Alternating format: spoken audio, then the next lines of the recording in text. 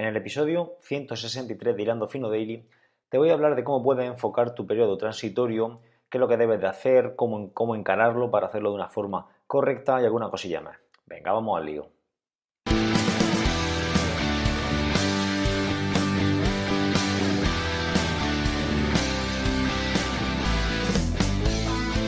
Buenos días, tardes o noches familia.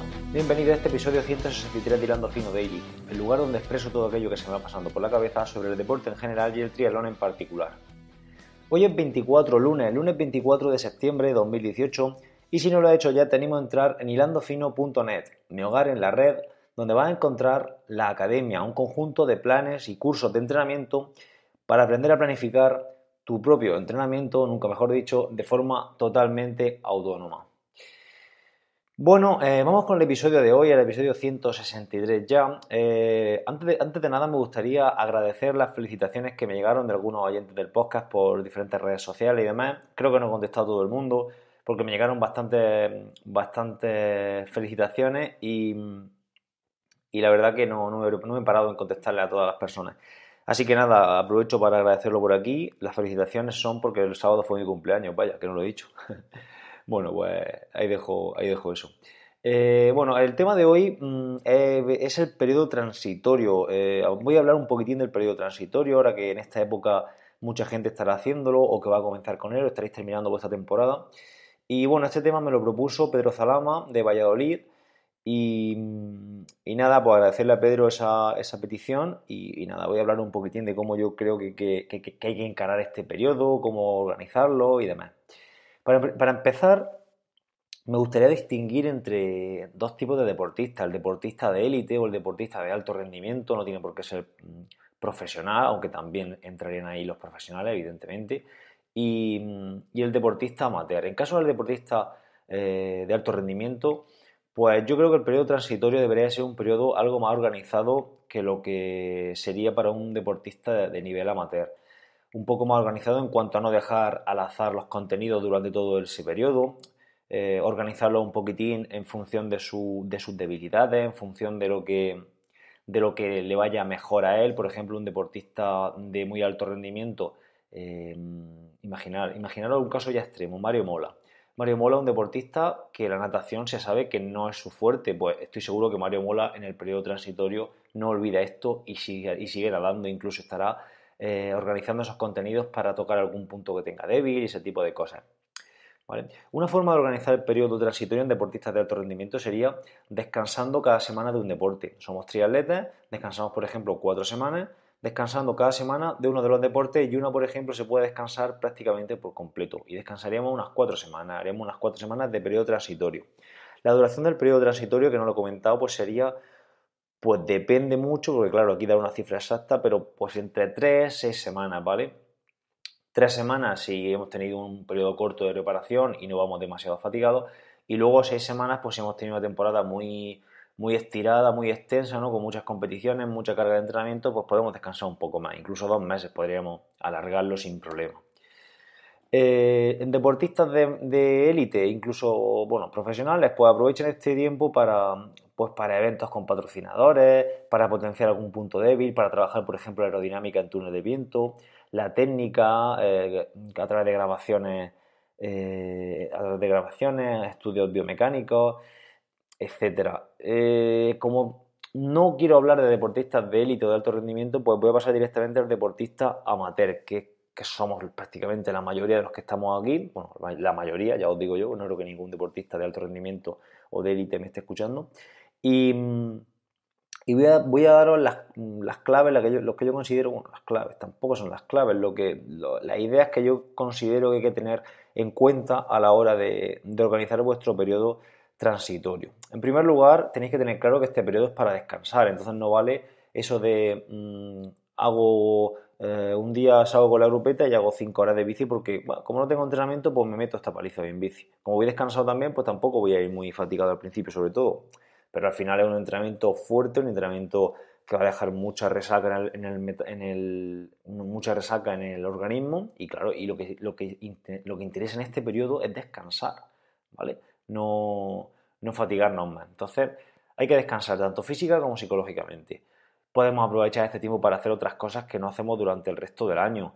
Por ejemplo, mm, se me viene a la idea, a la cabeza la idea de, por ejemplo, un partido de fútbol con los amigos. a lo mejor en otra época del año, que no creo que deba de ser así. Siendo deportistas de, de sin amateurs, ¿vale? Eh, creo que no deberíamos de renunciar a nada eh, el resto del año por entrenar, pienso yo, ¿vale? ¿vale? Ya cada cual que haga lo que le dé la gana. Podemos aprovechar para estar más tiempo con la familia, aunque creo que tampoco debería de verse demasiado, demasiado comprometido este aspecto el resto del año para poder llevarlo con, con, con asiduidad al entrenamiento, ¿no? Para poder prolongarlo en el tiempo. Como digo, en cuanto al tiempo de descanso, pues podemos oscilar entre las 3, 4, 6, incluso podemos alargarlo hasta las 8 semanas.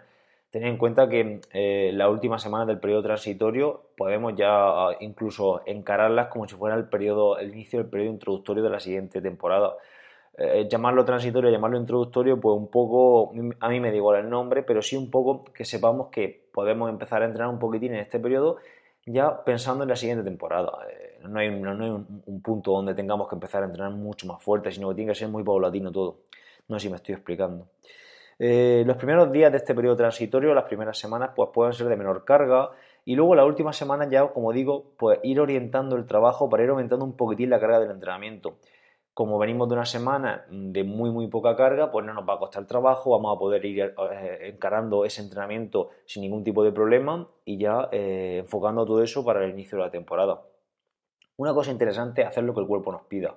Es decir, no planificar, si tenemos entrenador, no planificar, a mí no me gusta planificar estas semanas tal cual, sino, por ejemplo, decir, pues esta semana tienes que hacer esto y soltar los días, eh, mejor dicho, las sesiones y que el deportista, con algo de coherencia, se la organice como él quiere y que cada día haga lo que le, apetezca, ¿vale? sobre lo que yo le, le he propuesto.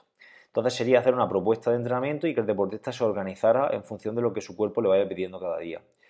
En cuanto a descansar total o no descansar total, eh, en este periodo, mm, yo sí que, por ejemplo, hay autores, hay gente como Alberto García Bataller que, suele decir que hay que descansar un mes completo sin hacer nada. De hecho, él, es el entrenador de Ana Burgos, eh, o era el entrenador de Ana Burgos, además de su marido, y, mm, y decía que Ana descansaba un mes completo entre temporadas y no pasaba nada, y era un deportista de alto rendimiento. ¿eh? Bueno, yo descanso total no suelo hacerlo porque me gusta hacer deporte, entonces aunque sea salir a pasear, hacer, mm, no sé, una salida en mountain bike o salir, salir al monte a caminar, pues son actividades que me gustan y no suelo descansar de forma total. En cualquier caso, si se descansa total y si la gente o si alguno de vosotros pensáis que, os va a venir bien porque psicológicamente vaya a desconectar y vaya a coger luego el entrenamiento con más fuerza, pues oye, pues descansar total, tampoco creo que haya mucha diferencia. Luego, por ejemplo, en el caso de la natación, al ser un deporte muy técnico, pues es interesante si no somos muy buenos nadadores no dejarlo. Eh, no digo que estemos entrenando eh, cuatro o cinco días a la semana, pero por lo menos dejar dos días semanales, aunque sea de mil metros, y esos días pues hacer algo de remada, hacer algo de técnica, hacer cosas que, que sintamos el agua y que con poco volumen y con poco tiempo en el agua pues podamos sacarle un gran beneficio. Y bueno, eh, otros deportes que podemos hacer para desconectar, pues deportes colectivos, deportes de raqueta, eh, senderismo. Eh, ahora mismo no, todavía no, pero enseguida se podrá empezar a, esquiar, hacer esquí de fondo, esquí alpino. En definitiva, hacer otros deportes que durante el resto del año no se suelen hacer y, y ahora pues viene bien para desconectar y para hacer otras cosas. Eso viene bastante bien. Bueno, mm, no voy a decir mucho más nada de este periodo. Si tenéis alguna sugerencia sobre ello, comentármela, me la podéis escribir al correo eh, a sebas.hilandofino.net y la diré en la miscelánea el viernes, lo que me habéis, lo que me habéis ido comentando. Pero vamos, eh, yo creo que es la forma de organizarla más, más, coherente esto que he comentado. Tampoco hay reglas muy escritas acerca de esto. Es un periodo que se presta bastante a la improvisación y a hacer lo que cada uno crea que debe de hacer y que le viene mejor, ¿vale? En este periodo. Así que nada, como siempre, eh, muchísimas gracias por estar ahí al otro lado del, micro, de los cascos, de, de, los auriculares, escuchándome cada día. Muchísimas gracias también por las suscripciones a la academia, por las valoraciones y las suscripciones a las distintas plataformas de escucha. Nos escuchamos mañana, nunca mejor dicho. Ser felices. Adiós.